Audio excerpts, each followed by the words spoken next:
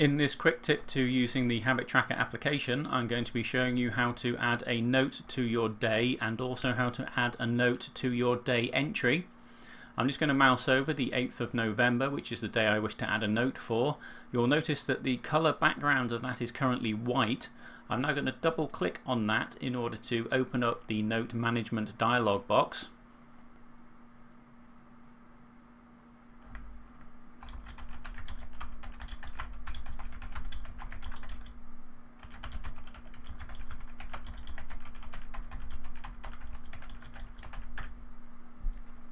I'm going to make that note private because I don't wish anybody else to see that.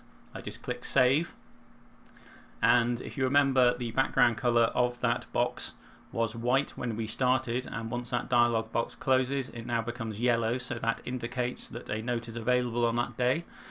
You can see the note in the tooltip there and that note is also available when you mouse over the day column. The second way to add a note is to an entry type so I can right click on there and I know that you can't see that menu but there is a menu there which says manage note for entry. And I click on that and this time you get up the same dialog box for the manage note. And I can add another note in there